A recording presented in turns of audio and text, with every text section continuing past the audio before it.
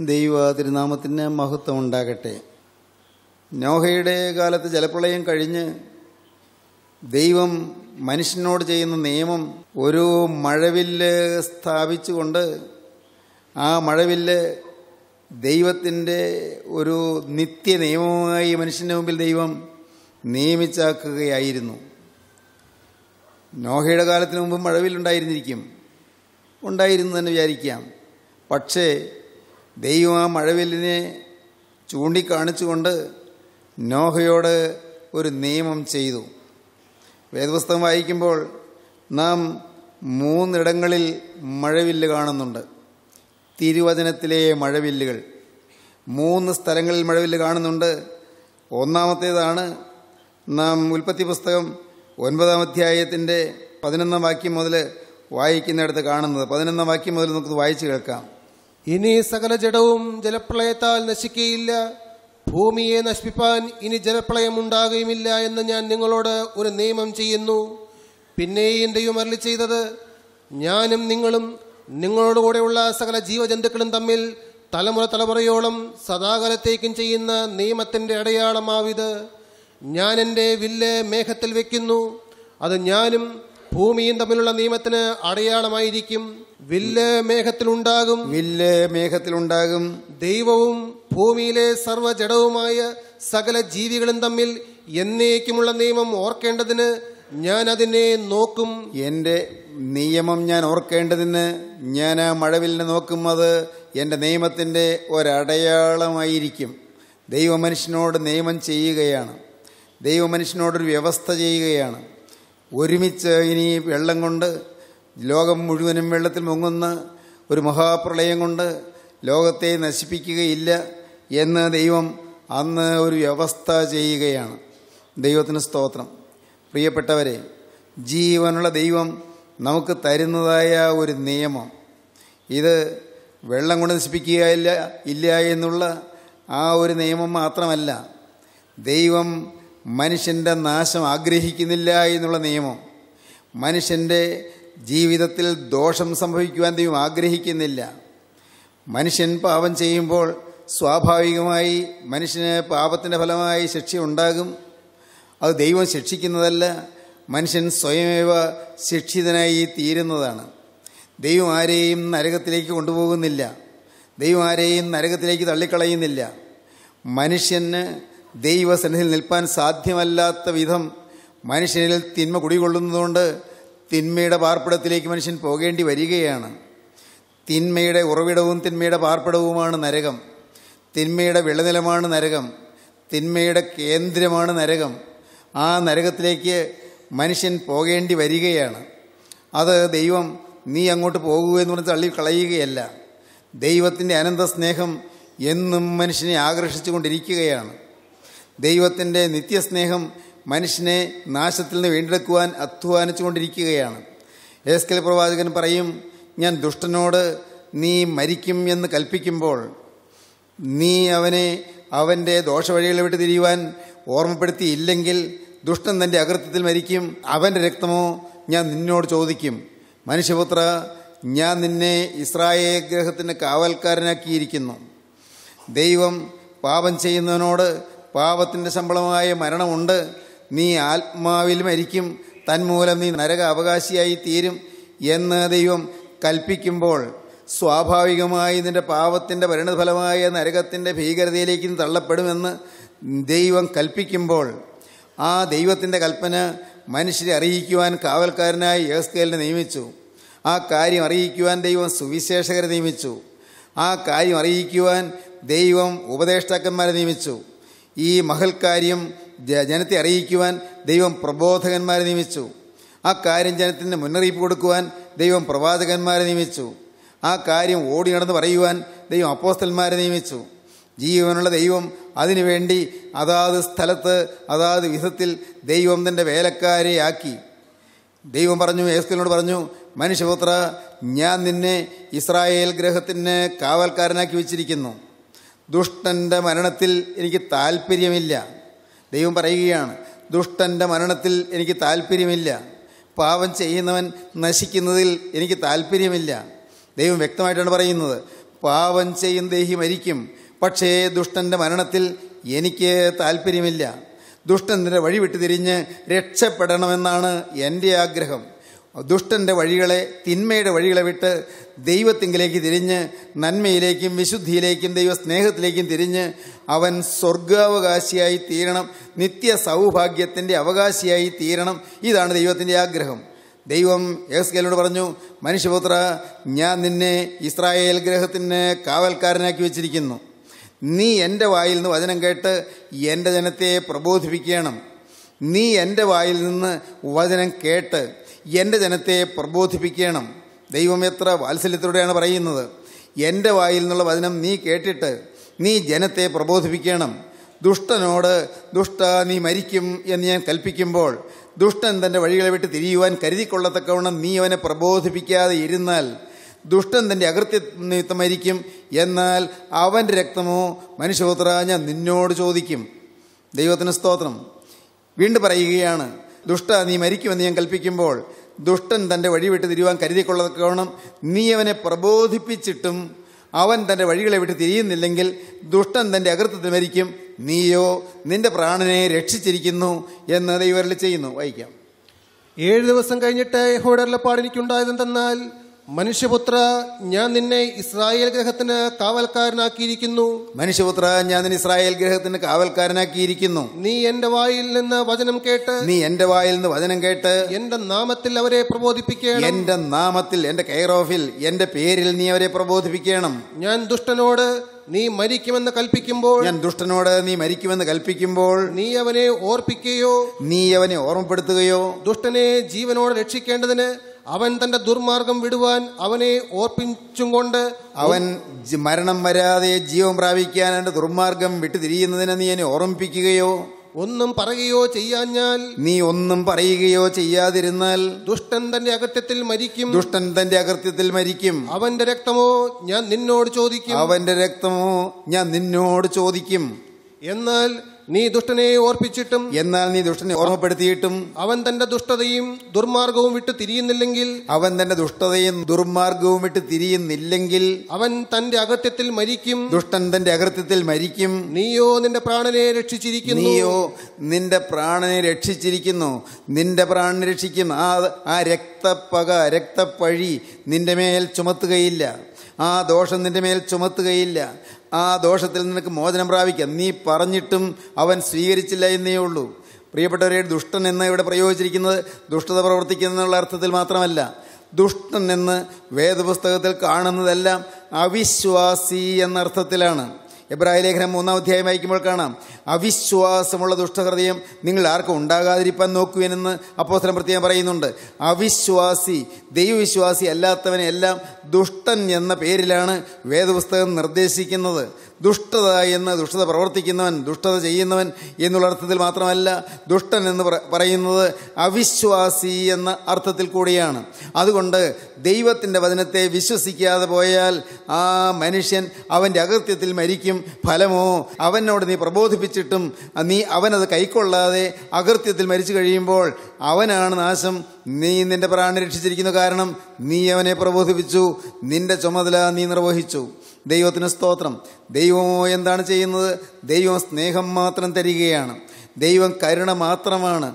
ദൈവം ഈ മഴവില്ല് വെച്ചതിൽ കൂടെ ആ മഴവില്ല് അടയാളമാക്കി കാണിച്ചതിൽ കൂടെ ദൈവത്തിന്റെ നിയമം പറഞ്ഞതിൽ കൂടെ ദൈവത്തിന്റെ അനന്ത സ്നേഹം നമ്മോട് പ്രദർശിപ്പിക്കുകയാണ്. നിത്യസ്നേഹം. രക്ഷയ്ക്ക് മാർഗമുണ്ട്. അപകടം വരാതെ രക്ഷപ്പെടാൻ ഒരു വഴിയുണ്ട്. രക്ഷപ്പെടാൻ ഒരു വഴിയുണ്ട്. എന്താണ് രക്ഷയ്ക്കുള്ള മാർഗം? ഏതാണ് ഈ രക്ഷയുടെ മാർഗം? അത് മനസ്സിലാകുന്നത് രണ്ടാമത്തെ മഴവില്ലിനെ കുറിച്ച് നാം പഠിക്കുമ്പോഴാണ്. വേദപുസ്തകത്തിൽ രണ്ടാമത്തെ മഴവില്ല് അത് എസ് കെൽ പ്രവാചന പുസ്തകം ഒന്നാം അധ്യായത്തിൽ നമുക്ക് കാണാം. എസ് കെൽ പ്രവാചന പുസ്തകം ഒന്നാം അധ്യായത്തിന്റെ ഇരുപത്തിയെട്ടാം വാക്യം വായിക്കാം. അതിന്റെ ചുറ്റുമുള്ള പ്രകാശം മഴയുള്ള ദിവസത്തിൽ മേഘത്തിൽ കാണുന്ന വില്ലിന്റെ കാഴ്ച പോലെയായിരുന്നു. ചുറ്റുമുള്ള പ്രകാശം മഴയുള്ള ദിവസത്തിൽ മേഘത്തിൽ കാണുന്ന വില്ലിന്റെ ശോഭ പോലെയായിരുന്നു എന്ന് എസ് കെ പ്രവാചക പുസ്തകം ഒന്നാം അധ്യായത്തിൽ പറയുന്നു. ഒന്നാം അധ്യായത്തിന്റെ മൂന്നാം വാക്യം മുതൽ വായിക്കുമ്പോൾ നാം അത് കാണുന്നുണ്ട്. ദൈവത്തിന് സ്തോത്രം. ഇരുപത്തി എട്ടാം വാക്യമാണ് ഇപ്പോൾ വായിച്ചത്. അതിന്റെ ചുറ്റുമുള്ള പ്രകാശം മഴയുള്ള ദിവസത്തിൽ മേഘത്തിൽ കാണുന്ന വില്ലിന്റെ കാഴ്ച പോലെയായിരുന്നു. യഹോവയുടെ മഹത്വത്തിന്റെ പ്രത്യക്ഷത ഇങ്ങനെയായിരുന്നു കണ്ടത്. അത് കണ്ടിട്ട് ഞാൻ കവിണ്ണു വീണു. സംസാരിക്കുന്ന ശബ്ദവും ഞാൻ കേട്ടു. ഏസ്കേൽ ഈ ദൈവ ശബ്ദം കേൾക്കുകയാണ്. ഏസ്കേൽ ദൈവശബ്ദം കേട്ടതോടുകൂടെ മഴവില്ലിന്റെ കാഴ്ച കാണുകയാണ്. ഒന്നാം അധ്യായത്തിന്റെ ആദ്യ ഭാഗം കാണുമ്പോൾ നിത്യനായ ദൈവത്തിന്റെ തേജോമയമായ കാഴ്ചയാണ് നമുക്ക് കിട്ടുന്നത്. ദൈവത്തിന് സ്തോത്രം. നമുക്ക് വായിക്കാം. ഒന്നാം അധ്യായത്തിന്റെ നാലാം വാക്യം നമുക്ക് വായിക്കാം. അവിടെ യഹോവയുടെ കൈയും അവന്റെ മേൽ വന്നു. ഞാൻ നോക്കിയപ്പോൾ വടക്ക് നിന്ന് ഒരു കൊടുങ്കാറ്റും വലിയൊരു മേഘവും പാളിക്കത്തുന്ന തീയും വരുന്നത് കണ്ടു. ഞാൻ നോക്കിയപ്പോൾ യഹോവയുടെ കൈ യഹസ്കേലിന്റെ മേൽ വന്നു. ദൈവത്തിന്റെ ആത്മാവ് യഹസ്കേലിന്റെ മേൽ വന്നു. പരിശുദ്ധാത്മാവ് പ്രവാചകന്റെ മേൽ വന്നു. യഹസ്കേൽ പ്രവാചകനായിരുന്നു യഹസ്കേൽ പുരോഹിതനമായിരുന്നു. യഹസ്കേലിന്റെ മേൽ ദൈവത്തിന്റെ ആത്മാവ് വന്നു. യഹോവയുടെ കൈ യഹസ്കേലിന്റെ മേൽ വന്നു. അപ്പോൾ ഒരു കാഴ്ച കണ്ടു. എന്താണ് കണ്ടത്? മഹത്വകരമായ ദർശനം. തേജോമയമായ ദർശനം കണ്ടു. തേജസ്സിന്റെ ദർശനം കണ്ടു. ആ ദർശനത്തിലേക്ക് ഏസ്കൽ ഉറ്റുനോക്കി. കണ്ടതെന്താണ്? വടക്ക് നിന്ന് ഒരു കൊടുങ്കാറ്റ് വരുന്നു. പിന്നീട് വലിയൊരു മേഘം വരുന്നു. അതിനുശേഷം പാളിക്കത്തുന്ന തീയും വരുന്നത് കണ്ടു. ദൈവത്തിന് സ്തോത്രം. അടുത്ത വാക്യം കൂടെ വായിക്കാം. അതിന്റെ ചുറ്റും ഒരു പ്രകാശവും അതിന്റെ നടുവിൽ നിന്നു.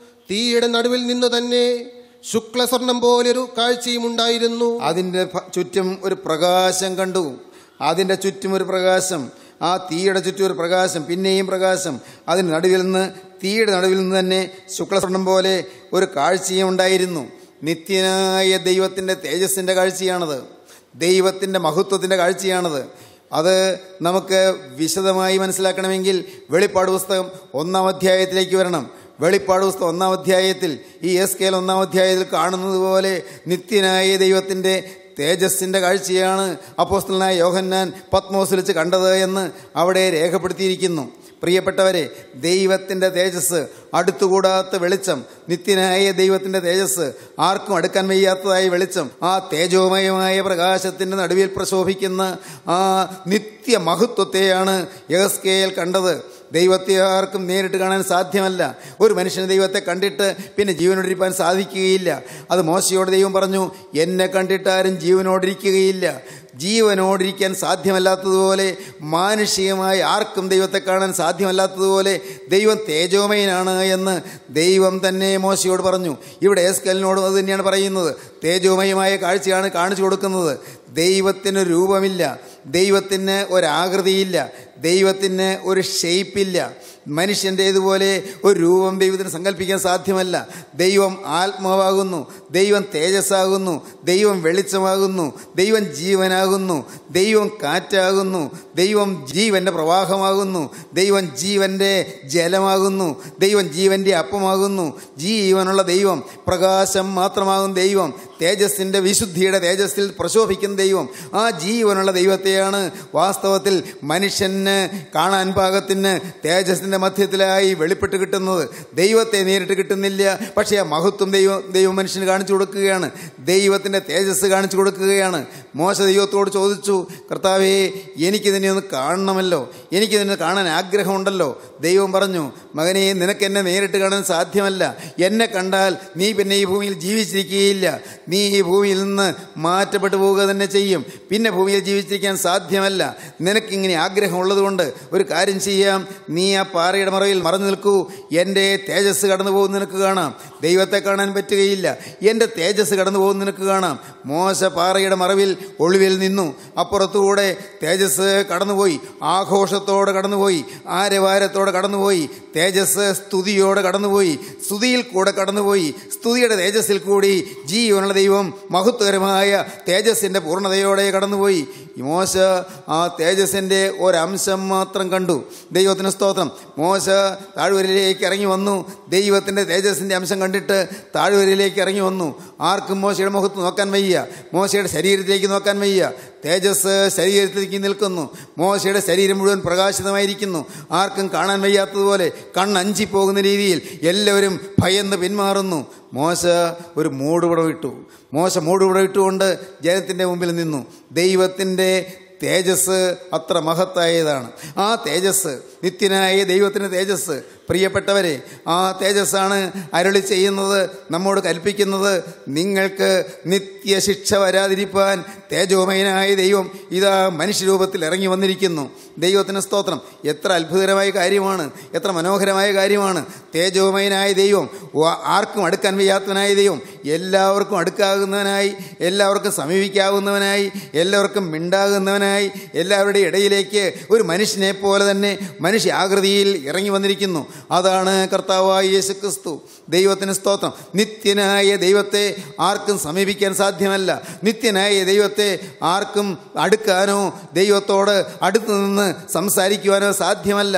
എന്നാൽ അതുകൊണ്ട് മനുഷ്യ രൂപമെടുത്തുകൊണ്ട് നിത്യനായ ദൈവം ഒരു സ്ത്രീയുടെ ഗർഭപാത്രത്തിൽ ഒതുങ്ങി ഒരു സ്ത്രീയുടെ ഉദരത്തിൽ ഒതുങ്ങി നിത്യനായ ദൈവം ഒരു കാലത്തിന്റെ മധ്യത്തിൽ ഒതുങ്ങി ബി സിയുടെയും എ ഡിയുടെയും മധ്യത്തിൽ ഒതുങ്ങി നിത്യനായ ദൈവം ആകാശത്തിനും ഭൂമിക്കും മധ്യത്തിൽ ഒതുങ്ങി നിത്യനായ ദൈവം ഒരു തൊഴുത്തിന്റെ പുൽക്കൂട്ടിൽ ഒതുങ്ങി. ദൈവത്തിന് സ്തോത്രം. നിത്യനായ ദൈവം ഒരു മുപ്പത്തി മൂന്നര വർഷത്തിന്റെ കാലയളവിനുള്ളിൽ ഒതുങ്ങി. നിത്യനായ ദൈവം രണ്ട് മരക്കഷ്ണത്വമാകുന്ന കുരിശിന്മേൽ ഒതുങ്ങി. നിത്യനായ ദൈവം അരിമത്തിക്കാരൻ യോസേഫിന്റെ കല്ലറിൽ ഒതുങ്ങി. ദൈവത്തിന് സ്തോത്രം. എന്തിന്?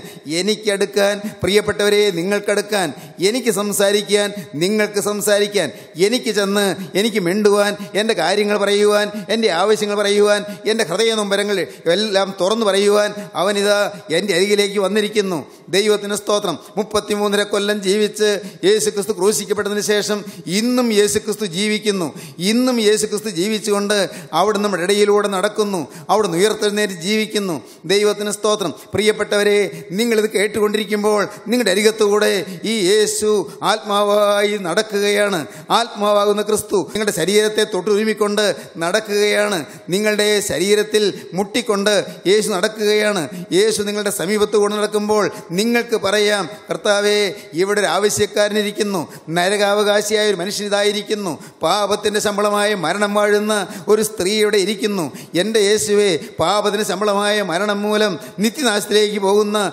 ഒരു മനുഷ്യനിതാ ഇവിടെ ഇരിക്കുന്നു. ഞാൻ നിന്റെ കൈപ്പണിയാണല്ലോ. എന്നാൽ ഞാനിതാ ശിക്ഷാവിധിക്ക് അർഹനായിട്ടിരിക്കുന്നു. ഞാൻ നിന്റെ കൈപ്പണിയാണല്ലോ. ഞാൻ ജലപ്രളയത്തിൽ നശിക്കുന്നില്ല. പക്ഷേ നിത്യപ്രളയത്തിൽ നശിക്കേണ്ടവനായി നരകത്തിന്റെ ഭീകരതയിലേക്ക് തള്ളപ്പെടേണ്ടവനായി അതിന് മാത്രം യോഗ്യതയുള്ളവനായി ഞാൻ ഇവിടെ ഇരിക്കുന്നു. എന്റെ പാപങ്ങൾ ഭയാനകമാണ്. എന്റെ യേശുവേ എന്റെ ജീവിതത്തിൽ ഒന്ന് പോയ പാപങ്ങൾ ലോകത്ത് ആർക്കും അറിഞ്ഞുകൂടാ. എന്നാൽ നാഥ നീ അറിയുന്നു. നിന്നെ മറയ്ക്കാൻ സാധ്യമല്ല. നിന്നെ ഒളിക്കാൻ സാധ്യമല്ല. യേശുവേ നീ ഇപ്പോൾ എന്റെ അരികത്തേക്ക് വന്നിരിക്കുന്ന ഈ സമയം ഞാൻ നിന്നോട് യാചിക്കുകയാണ്. കർത്താവെ ഞാൻ വിശ്വസിക്കുന്നു. നീ ക്രൂസിൽ മരിച്ചത് എന്റെ പാപത്തിന് ശിക്ഷ വഹിച്ചുകൊണ്ടാണെന്ന് ഞാൻ വിശ്വസിച്ച് ഏറ്റു പറയുകയാണ് എന്റെ ബന്ധനങ്ങൾ അഴിക്കുവാനാണ്. നീ കുരിശിന്മേൽ ആണികളാൽ ബന്ധിതനായത് എന്ന് ഞാൻ വിശ്വസിച്ച് ഏറ്റു പറയുകയാണ് കർത്താവെ എണ്ണിയാൽ തീരാത്ത പാപങ്ങൾ അതെല്ലാം വഹിച്ചുകൊണ്ട് ഞാനിതാ തിരുവൻപാകെ വന്ന് നിന്റെ കുരിശിൻ ചൂടിൽ എന്നെ തന്നെ അടിയറ വയ്ക്കുന്നു എനിക്ക് ന്യായം പറയാൻ ഒന്നുമില്ല എനിക്ക് അഭിമാനിക്കാൻ ഒന്നുമില്ല.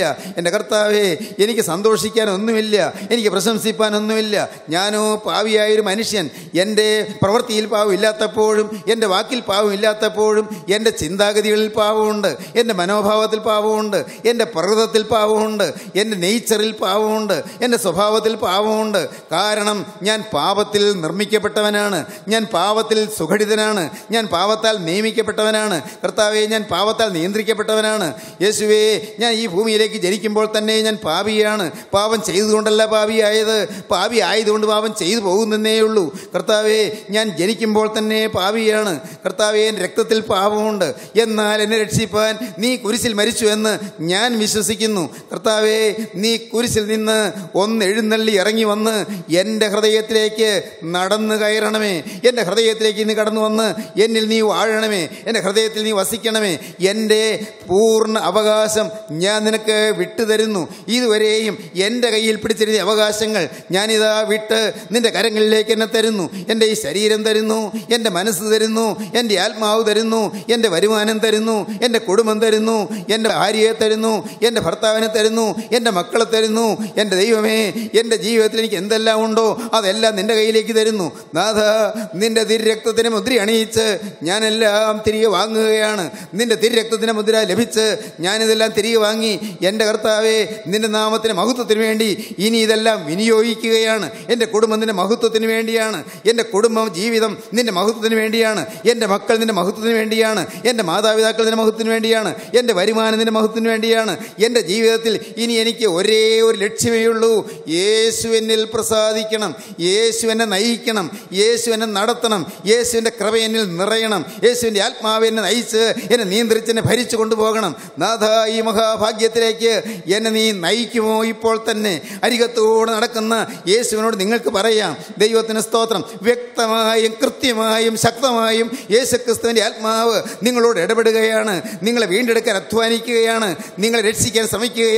പാപത്തിന്റെ നാശത്തിലേക്ക് പോകാൻ ദൈവം നിങ്ങളെക്കുറിച്ച് ആഗ്രഹിക്കുന്നില്ല. പാപത്തിന്റെ ശിക്ഷയിലേക്ക് തള്ളപ്പെടുവാൻ ദൈവം നിങ്ങളെക്കുറിച്ച് ആഗ്രഹിക്കുന്നില്ല. നിങ്ങളെല്ലാവരും രക്ഷപ്പെടണമെന്നാണ് കർത്താവിന്റെ ആഗ്രഹം. നിങ്ങൾ ഓരോരുത്തരും രക്ഷയുടെ കവാടത്തിൽ കൂടെ നിത്യരക്ഷയിലേക്ക് പ്രവേശിപ്പാൻ ആഗ്രഹിച്ചുകൊണ്ട് രക്ഷകനിത കൈമാടി വിളിക്കുകയാണ്. ദൈവത്തിന് സ്തോത്രം. അവൻ നിങ്ങളെ സ്നേഹത്തോടെ വിളിച്ചു ചേർക്കുകയാണ്. അവന് നിങ്ങളോട് പരിഭവമില്ല. യേശു നിങ്ങളോട് വഴക്കില്ല. നിങ്ങൾ പാപം ചെയ്ത് ജീവിച്ചല്ലോ എന്ന് യേശു നിങ്ങളോട് വഴക്കടിക്കുന്നില്ല. യേശു നിങ്ങളെ തള്ളി മാറ്റുന്നില്ല യേശു നിങ്ങളെ ശപിച്ച് വിടുന്നില്ല. യേശു നിങ്ങളെ ഉപദ ഉപേക്ഷിച്ച് കളയുന്നില്ല. യേശു നിങ്ങളെ ചേർത്തണയ്ക്കുകയാണ് എന്റെ അടുക്കൽ വരുന്നവനെ ഞാൻ ഒരു നാളും തള്ളിക്കളകയില്ല എന്ന് യേശു വ്യക്തമായി കൽപ്പിച്ചിട്ടുണ്ട്. എന്റെ അടുക്കൽ വരുന്നവനെ ഞാൻ ഒരു നാളും തള്ളിക്കളയുകയില്ല. ദൈവത്തിന് സ്തോത്രം. എന്റെ സ്നേഹിതരെ നിങ്ങൾ യേശുവിന്റെ അടുക്കിലേക്ക് ഓടി വരിക യേശു രക്ഷകരാണ്. യേശുവിന്റെ രക്തം ഗുണകരമായി സംസാരിക്കുന്നുണ്ട്. യേശു കാരുണ്യവാനാണ്. ആ തിരുനാഥന്റെ പൊന്നു സൗഹിതത്തിലേക്ക് ഓടി അണയുവീൻ.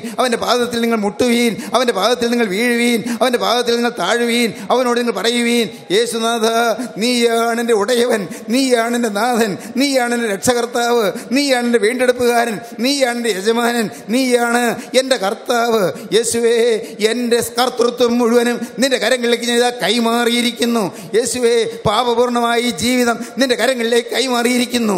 കർത്താവേ എന്നെ നീ ശുദ്ധീകരിച്ച് എന്നെ നീ രൂപാന്തരപ്പെടുത്തി. യേശുവിന്റെ സ്വഭാവമുള്ള ഒരു വ്യക്തിയാക്കി എന്നെ നീ തിരിയാക്കണമേ കർത്താവേ. എന്നെ നീ ട്രാൻസ്ഫോം ചെയ്യണമേ കർത്താവേ. എന്നെ രൂപാന്തരപ്പെടുത്തണമേ കർത്താവേ. സ്വഭാവം മാറ്റണമേ കർത്താവേ. പാപമയ പ്രകൃതികൾ മാറ്റി എന്നെ ഒരു വിശുദ്ധനാക്കി മാറ്റണമേ. എന്നെ ശുദ്ധിമതിയാക്കി മാറ്റണമേ. കർത്താവേ ഈ തലമുറയിലെ ഒരു വിശുദ്ധനായി മാറുവാൻ എനിക്ക് നീ ഭാഗ്യം തരണമേ. നാഥ എന്നോടുള്ള നിന- നിന്റെ നിയമം ഞാൻ ഓർക്കുന്നു. തിരക്തത്താലുള്ള നിയമം ഞാൻ ഓർക്കുന്നു. യേശുവേ മഴവില്ല ഞാൻ കാണുന്നു. കർത്താവേ എന്റെ ജീവിതത്തിൽ സ്നേഹത്തിന്റെ മഴവില്ല എഴുന്നള്ളി വന്ന് നീ എന്റെ ജീവിതത്തിൽ രക്ഷാവലയം സൃഷ്ടിക്കണമേ. എനിക്ക് ചുറ്റും പ്രകാശവലയം സൃഷ്ടിക്കണമേ. എനിക്ക് ചുറ്റും കരുതൽ സൃഷ്ടിക്കണമേ. കർത്താവേ എനിക്ക് ചുറ്റും ഒരു വലിയ കോട്ട കെട്ടണമേ. എന്നെ നീ എന്റെ സ്വന്തമാക്കി തീർക്കണമേ. നീ എന്റെ സ്വന്തം യേശുവേ. നീ എന്റെ സ്വന്തം യേശുവേ. ഞാൻ നിന്റെ സ്വന്തം. കർത്താവേ നാം ഇന്നു മുതൽ ഒന്നാണ്. യേശുവേ ഇന്നു മുതൽ നാം ഒന്നാണ്. എനിക്ക് സ്വന്തം പരിപാടി ഇല്ലല്ലോ. എനിക്ക് സ്വന്തം പ്ലാൻ ഇല്ലല്ലോ. എന്റെ പദ്ധതികളെല്ലാം നിന്റേതാക്കി മാറ്റിയില്ലേ. എല്ലാം തന്നില്ലേ? യേശുവേ നീ അറിയുന്നല്ലോ. കർത്താവേ എന്നെ ഇനിയും പൂർണതയിലേക്ക് നയിക്കണമേ. എന്നെ ഇനിയും രൂപാന്തരപ്പെടുത്തണമേ. ഇനിയും എന്നെ ശുദ്ധീകരിക്കണമേ. ഹലലൂയ ദൈവത്തിന് സ്തോത്രം. നിങ്ങൾ പ്രാർത്ഥിക്കുമ്പോൾ അപ്പോൾ യേശുവിന്റെ കാര്യം നിങ്ങൾ തലോടുന്നത് നിങ്ങൾക്ക് അനുഭവിക്കാം. യേശുവിന്റെ കരം നിങ്ങളെ താലോലിക്ക് നിങ്ങൾക്ക് അനുഭവിക്കാം. ദൈവത്തിന് സ്തോത്രം. കഴിഞ്ഞ കാലങ്ങൾ വായിച്ചു തരും നിങ്ങൾക്ക് അനുഭവിക്കാം. എല്ലാം എല്ലാം ഒരു നിമിഷ നേരം കൊണ്ടെല്ലാം കഴുകിത്തരുന്നു എല്ലാം കഴുകിത്തരുന്നു എല്ലാം മറച്ചു തരുന്നു. എന്തെല്ലാം എന്തെല്ലാമാണ് അയ്യോ എന്തെല്ലാം? എല്ലാം മറച്ചു തരുന്നു. എല്ലാം. എന്റെ ദൈവമേ എന്തെല്ലാം? ഓർക്കുമ്പോൾ പേടിയാകുന്നു. ഓർക്കുമ്പോൾ ലജ്ജയാകുന്നു. കർത്താവെ ലജ്ജയ്ക്ക് വകയുള്ള കാര്യങ്ങളെല്ലാം എല്ലാം. നാണിച്ചു പോകേണ്ട കാര്യങ്ങളെല്ലാം തലതാഴ്ത്തി പോകേണ്ട കാര്യങ്ങളെല്ലാം. എന്റെ ദൈവമേ ആരോടും ഒന്ന് നിവർന്നു നിൽക്കാൻ പോലും ആരുടെ മുമ്പിൽ നിവർന്നു നിൽക്കാൻ പോലും പറ്റാത്ത കാര്യങ്ങളെല്ലാം. എല്ലാം ഇതാ നാഥാ നീ എനിക്ക് മായിച്ചു തരുന്നു. കർത്താവേ ഇനി മുന്നോട്ട് പോകുമ്പോൾ പിശാജ് നോക്കുമ്പോൾ എന്നിൽ പാപം കാണുകയില്ല. കാരണം നീ എല്ലാം അയച്ചു കളഞ്ഞു. ഇപ്പോൾ പിശാജ് നോക്കുമ്പോൾ കാണുന്നത് നിന്റെ തിരുരക്തമാണ്. എന്റെ മേൽ നിന്റെ തിരുരക്തം. ഹലലൂയ ദൈവമക്കളെ നിങ്ങൾക്ക് എന്ത് തോന്നുന്നു? നിങ്ങൾക്ക് വേണമോ ഈ യേശുവിനെ? ഈ യേശുവിന് വേണമോ? ഈ സ്വർഗീയ മഴവില്ല് വേണമോ? സ്വർഗത്തിന്റെ മഴവില്ലാകുന്ന തേജസ്സിന്റെ പ്രകാശം നിങ്ങൾക്ക് വേണമോ? ഈ മഹത്വത്തിന്റെ പ്രകാശം നിങ്ങൾക്ക് വേണമോ? അവനിതാ നിങ്ങളുടെ അരികത്തേക്ക് വന്നിട്ടുണ്ട്. അവനെ നിങ്ങൾ കൈവിട്ട് കളയരുത്. എന്റെ ജീവനുള്ള ക്രിസ്തു അരികത്ത് കിട്ടിയിരിക്കുന്ന നല്ല സമയം നിങ്ങൾ നഷ്ടപ്പെടുത്തരുത്. ഇപ്പോൾ തന്നെ നിങ്ങൾ യേശുവിനോട് പറയൂ യേശുവേ ഇന്നു മുതൽ ഞാൻ നിന്റെ വക. യേശുവേ ഇന്നു മുതൽ ഞാൻ നിന്റെ വക. സംശയിക്കേണ്ട. പ്രിയരെ സംശയിക്കേണ്ട. പ്രിയ സഹോദരങ്ങളെ സംശയിക്കേണ്ട. യേശുവോട് നിങ്ങൾക്ക് പറയാം യേശുവേ ഇന്നു മുതൽ ഞാൻ നിന്റെ വക എന്റെ യേശുവേ ഇന്നു മുതൽ ഞാൻ എന്റെ പുതിയ സൃഷ്ടി എന്റെ യേശുവേ ഇന്നു മുതൽ ഞാൻ നിന്റെ സ്വന്തം യേശുവേ ഇനി ഞാനില്ല യേശുവേ നീ മാത്രം യേശുവേ നിനക്കായി എന്നെ വേർതിരിച്ചിരിക്കുന്നു നിനക്കായി എന്നെ വിട്ടു തന്നിരിക്കുന്നു യേശുവേ ഇന്നു മുതൽ ഞാൻ നിന്റെ വക. നമുക്ക് സമർപ്പിക്കാം. കാരുണ്യവാനെ മഹാപരിശുദ്ധനായ ഞങ്ങളുടെ സ്വർഗീയ പിതാവേ ഈ നല്ല സമയത്തിനായി ഞങ്ങളെ സ്തുതിക്കുന്നു. അവിടുത്തെ തിരു സാന്നിധ്യത്തിനായി ഞങ്ങളെ സ്തുതിക്കുന്നു. ഒരു തിരുവേനി ഞങ്ങളുടെ കൂടെ ഉള്ളതിനായി ഞങ്ങളെ സ്തുതിക്കുന്നു. സ്വർഗീയനാഥൻ ഭൗമികരായ ഞങ്ങളുടെ മധ്യത്തിലേക്ക് എഴുന്നള്ളി വന്നതിനായി ഞങ്ങളെ സ്തുതിക്കുന്നു. കൃപയുടെ വചനത്താൽ ഞങ്ങളെ പോഷിപ്പിച്ചതിനായി ഞങ്ങളെ സ്തുതിക്കുന്നു. എല്ലാവരെയും വാഴ്ത്തണമേ. എല്ലാവരെയും അനുഗ്രഹിക്കണമേ. എല്ലാവരുടെ മേലും തൃക്കരം വെക്കണമേ രോഗികളെ സൗഖ്യമാക്കണമേ. മനോഭാരത്തിരിക്കുന്നവർക്ക് ആശ്വാസം നൽകണമേ. ഹൃദയം നൊന്ത് വിങ്ങിയിരിക്കുന്നവർക്ക് എന്റെ നാഥൻ കണ്ണുനീര് തുടച്ചു കൊടുക്കണമേ കർത്താവേ. എല്ലാവരെയും വാഴ്ത്തണം എല്ലാവരെയും അനുഗ്രഹിക്കണമേ വിശുദ്ധീകരിക്കണമേ. അവിടുത്തെ രണ്ടാമത്തെ വേണ്ടി എല്ലാവരെയും ഒരുക്കണമേ. യേശു ക്രിസ്തുവിന്റെ മഹത്വപൂർണമായ നാമത്തിൽ തന്നെ. ആമീൻ. Professor M Y Yohannan power vision T വിയിൽ പ്രസംഗിക്കുന്നു.